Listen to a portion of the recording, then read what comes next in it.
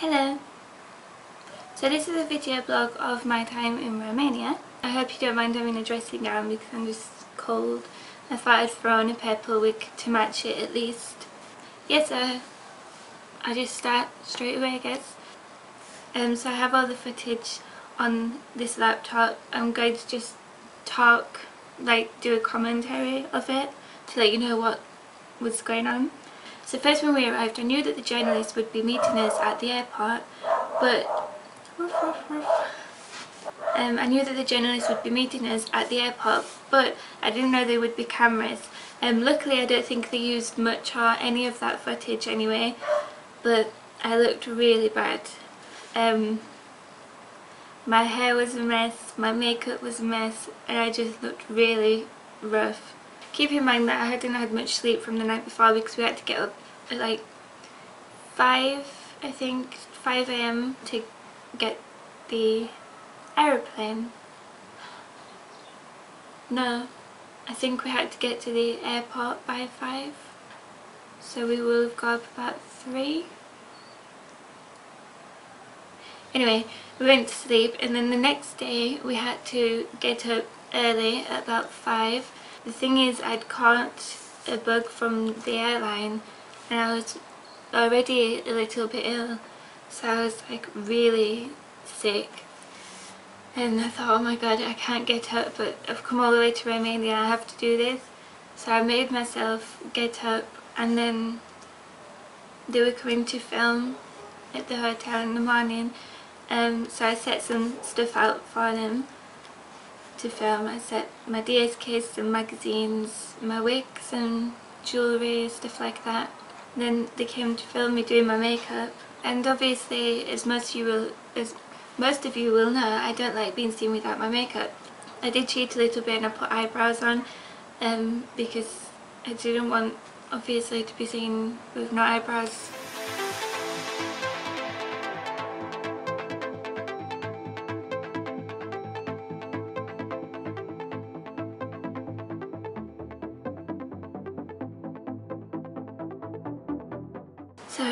filmed me doing my makeup and then we went out to film um, a promo for the live show. It was so, oh my god, I forgot to say, it's so warm in Romania, seriously. I mean, when you come from the UK, in the Yorkshire Pennines especially, which is freezing and windy all the time and raining, and wearing all the layers that I wear, and the wig, and all the makeup, even the makeup feels like it's holding heat after I did the makeup, I mean, I didn't want to sweat my makeup off before they even started filming, so I said, um, I'll bring the wig with me and then I'll put it on when we're on location. So they agreed to it, but then we went outside and they said, actually, let me just film you here. So that's when they filmed me, um, stood like outside the hotel with my bag and my hair just looked a mess. I didn't style it or fluff it up or anything because I was just putting a wig over it when we got on location.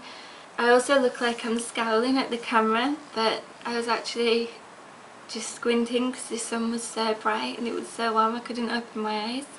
So yeah, when we got on location I put my wig on. We filmed loads of stuff. Um, they filmed me just walking around, having my photo taken with people who asked for it. There was a guy who walked past, I stopped in the window to style my wig because I forgot like hairpins. I forgot them and it was like this. I can't find a hairpin today that's why this is like this otherwise I would have done this with it so it's really annoying. I stopped in like a window to sort my wig out. A guy walked past, just walked past and pulled face like whatever and stuck his thumb up. So funny. So then after filming that, um, I did some waiting around and then we did the live show. For the live show, I had a translator earpiece, earpiece in my ear, um, but it was hard to understand because everything else was so loud and I could barely hear and even if I could hear I can't, I'm not good at understanding accents, like I can't understand Scottish people um, so I have no luck you know, understanding someone with a Romanian accent. I'm really bad at understanding people with um, strong accents, apart from Yorkshire obviously. then when I started talking, she would talk, you know, translate my words into Romanian really loud over the top. And in the footage you can't even hear how loud it is. And when they asked how long it took to do my makeup, and I said, um, about five, min five minutes, I wish, and when I said about 20 minutes to an hour, and when I said 20 minutes, they went, Kumar, or something like that, some Romanian words. So, about one hour, Cam o oră, 20 de minute, de la 20 de minute până la o oră. Păi, And um, I thought they were saying, come on, tell us the real time, it can't only take 20 minutes.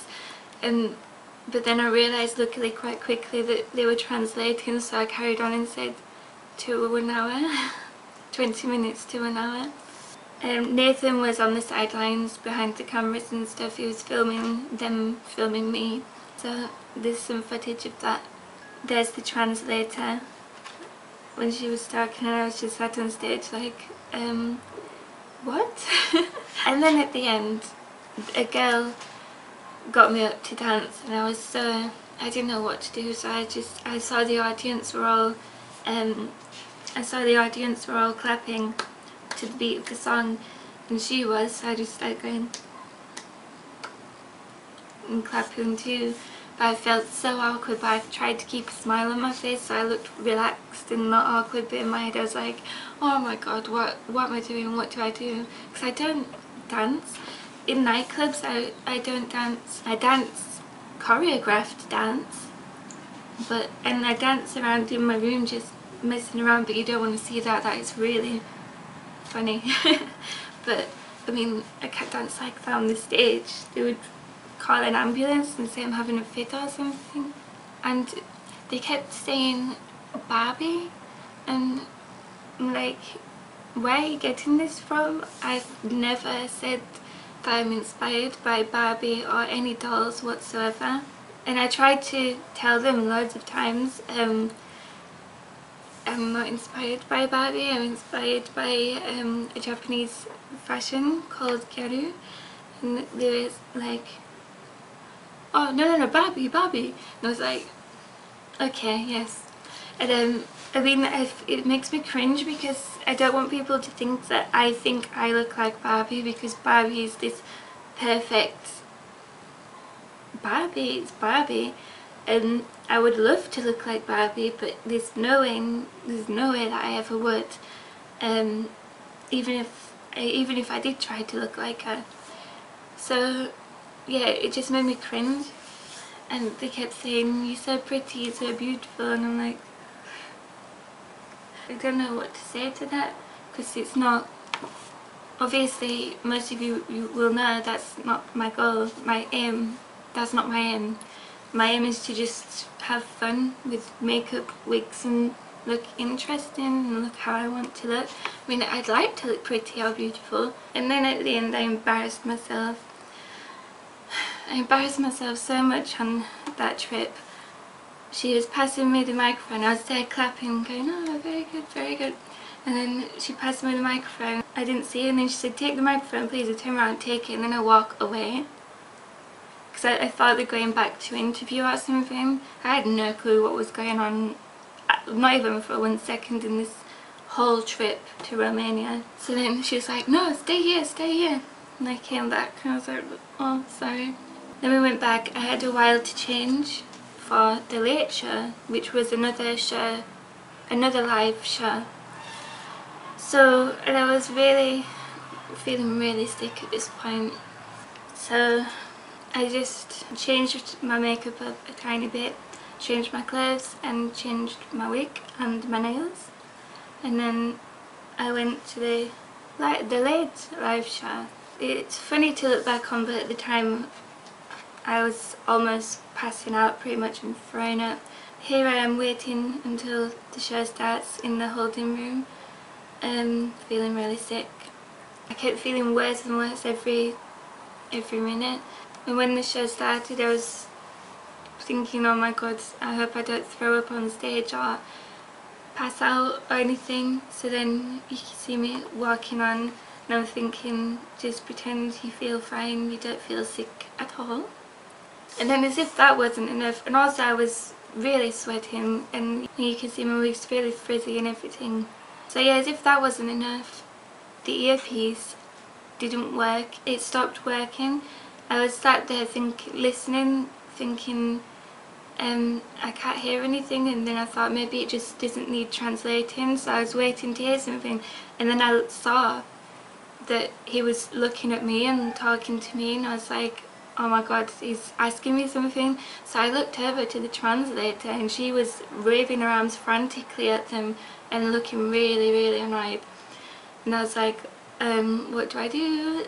So I just went sorry Sorry? Which one of your of uh, and then the start, one of the guys um, started translating in English for me. When he started translating in English, the earpiece started working again.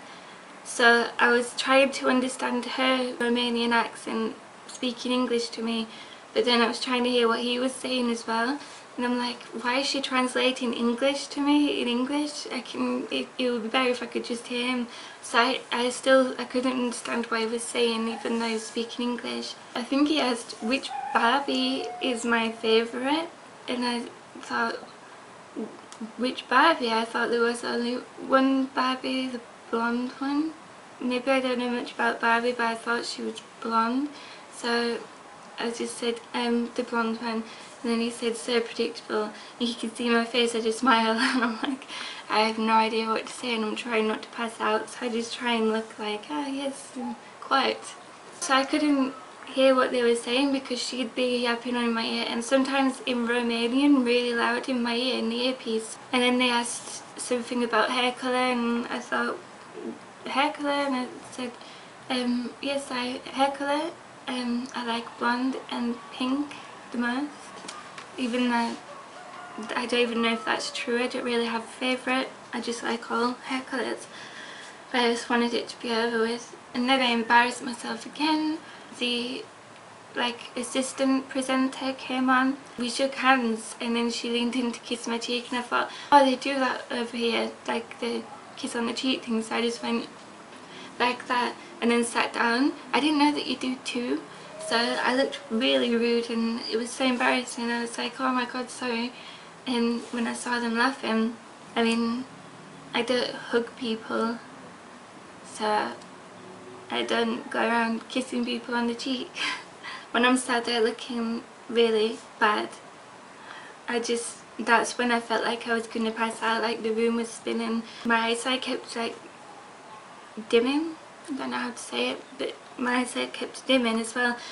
And then I had to go and do her makeup. So I was like what if I pass out and poke her in the eye with it like an eyeliner or something? But I managed to do it anyway. Her face was really nice to apply makeup to so that was quite fun. Um, and then she chose a wig to wear and she chose this one that I'm wearing now it suits her so much better. and then we had to sit there for two hours until the show stopped and then they unveiled her. And then I finally got to go back to the hotel and it was about two in the morning I think. I was so tired and so so ill and plus the lenses had been in my eyes for how long? Way more than you're supposed to keep them in, I can't remember how long. From early morning till early morning the next day. So a long time. So we, we started back to the hotel. There was loads of crows flying in the sky which I enjoyed. So then we got back to the hotel and I just passed out and fell asleep. The next day I felt really bad but I thought we're in a different country, we can't just stay in bed all day. And then we went to like a supermarket, a shopping centre, shopping mall, mall. So we went to a shopping centre. It was just like any other shopping centre so that was a bit disappointing, you know, with all the usual shops. Actually no, it wasn't just like any other supermarket. It had an ice rink and a roller coaster so that was quite interesting. It also had a fountain outside which was nice. I also took video footage of my shoes because I just really love those shoes so much. So pretty. And I followed pigeon around for a while. I really love pigeons, they're so cute and funny. I could watch them forever. And then we went to the bar and got a little bit drunk but then I started feeling too ill so I went to sleep. And then the next day I was feeling better. I mean still ill but so much better than I was the day before.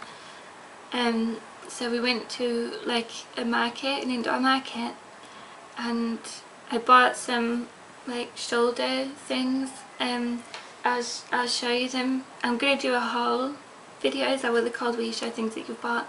I don't know. Um, but I'm going to do a video showing things that I've acquired recently. Um, I'm going to do that soon, hopefully. Then we went to the supermarket again and I, we went straight to the fridge section and I was just cooling down in the fridge section like you do. And then when we got back we raided the mini fridge and we got super drunk. Keep in mind the next morning we had to get up I think 3 in the morning to get the aeroplane back to the UK but we thought oh that's future us problem we'll be alright we'll be fine we need to enjoy our last night so we drank all the alcohol. We went to the bar in the hotel. We drank all the alcohol there. Um, as you can see there I'm drinking. And then after we'd gotten drunk like really drunk because all of the alcohol was free to us because all of the hotel bill was paid by the TV shows. So we wanted to make the most of it basically and so we got super drunk and I'm going to show you some footage now of me drunk and it's so embarrassing but on the lift, in the lift back up to our room I was just talking and then I made a really weird noise and I don't remember this at all. I should explain this. We've been reading Lord of the Rings recently so when we were on our way to Romania I said to Nathan, because I wasn't really looking forward to it because I was already ill at the time, so I said to Nathan, how I'm thinking of it is like Lord of the Rings, it's a quest and we're going from the Shire to Mordor and we're going to finish our quest and then we can make the return journey back to the Shire, which I do live in the Shire, Yorkshire. So yeah, that was kind of an ongoing thing between us. I just kept saying let's go back to the Shire. And we kept saying it like, I want to go back to the Shire. Casually accent, like and Pippin type accent. So, yeah, so I was in Mordor and it was Mordor because it was so boiling all the time. I'm in Mordor. I want to go back to the Shire. And then I started doing loads of drunk things like dancing around and stuff. I don't even know what I was doing but I thought it was funny at the time.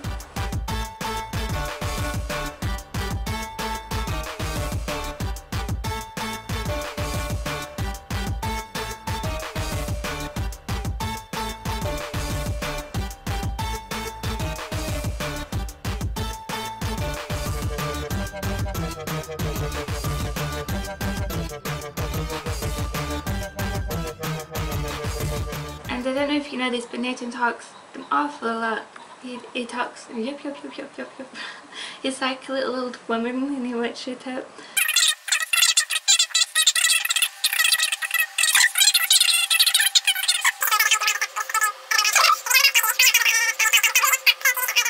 But I like it.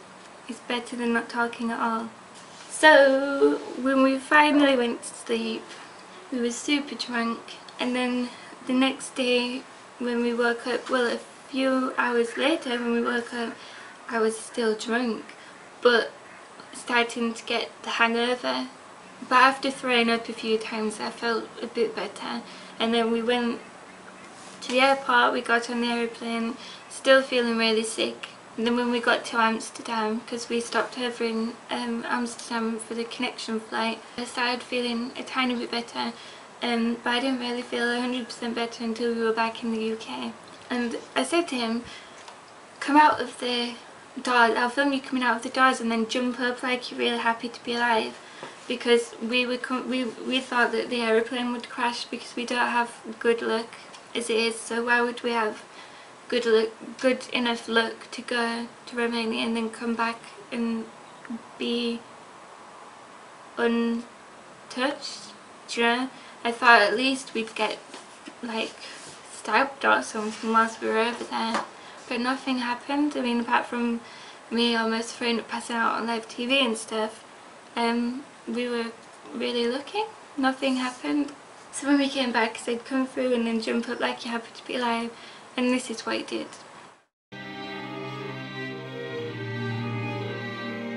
Obviously, it doesn't look happy to be alive, it looks the exact opposite, like, why did the aeroplane not crash?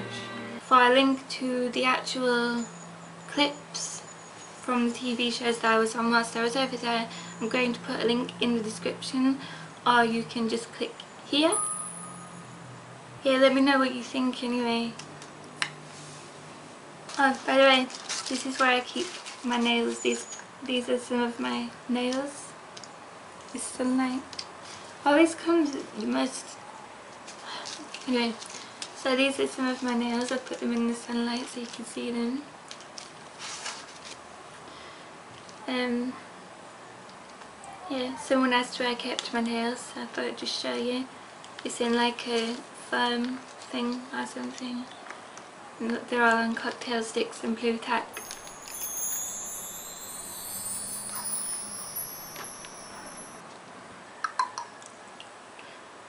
Yep, I think that's it and hopefully I'll be uploading a Halloween video. I wanted to do like a short video Halloween special.